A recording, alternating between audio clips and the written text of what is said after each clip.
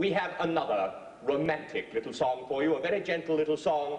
And tonight it is sung by a gentleman whom we don't normally associate with the tender passion.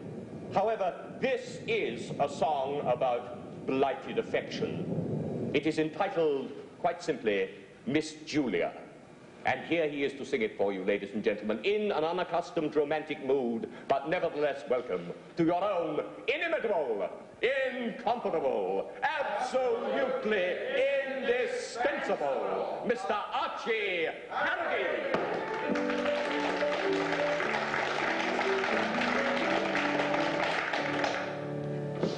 Have you ever been in love? If you haven't, I have. To the little god Cupid I've been a great slave. He shot in my bosom a quiver of arrows, like naughty boys shoot at cock robins and sparrows. My heart was as pure as white alabaster, till Cupid my bosom weak did overmaster. Then all ye gods know how I loved one Miss Julia. There was something about her so very peculiar. There was something about her so very peculiar. We met first at a ball where our hands did entwine, and I did squeege her finger, and she did squeege mine. To be my next partner, I ventured to press her, and I found that she lisped when she answered me, yes, sir. Now in lisping, I think there is something uncommon. I love in particular lisp in a woman. I'm sure you'd have liked the lisp of Miss Julia. There was something about it so very peculiar. Yes, there was something about it so very peculiar. Like a beautiful peach was the cheek of my Julia. And then in her eye there was something peculiar. Speaking volumes, it darted each glance to one's marrow, as swift and as keen as that wicked boy's arrow. A slight cast in her eye to her looks added vigor. Now a cast in the eye often tends to disfigure, but not so the cast in the eye of my Julia. Oh, no. There was something about it so very peculiar. Something about it so very peculiar. Good friends were we soon, and with smiles and with tears, I courted her nearly three or four years. I took her to plays and to balls. Ye powers, how swiftly and sweetly did then pass my hours.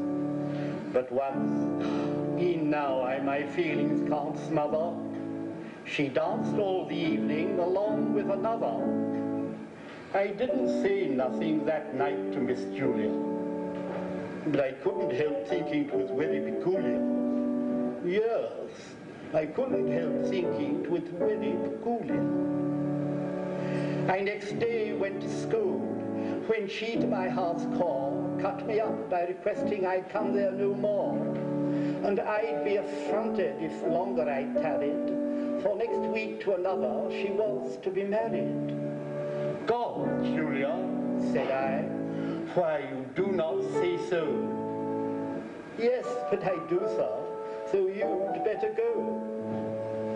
Well, I will go, but you'll own it to Miss Julia. Your behavior to me has been very peculiar. Very. Very peculiar indeed, miss. So from that day to this, I have never seen Julia. Her behavior to me was so very peculiar.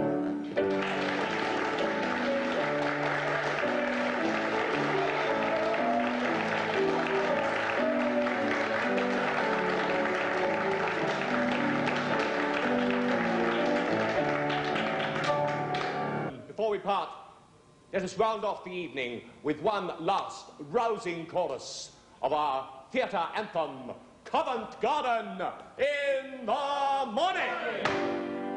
Chase away, strawberries ripe, and oh, of course they'll be. Never mind the abuse, you have the excuse. You went to Covent Garden in the morning. Thank you, ladies and gentlemen, and good night.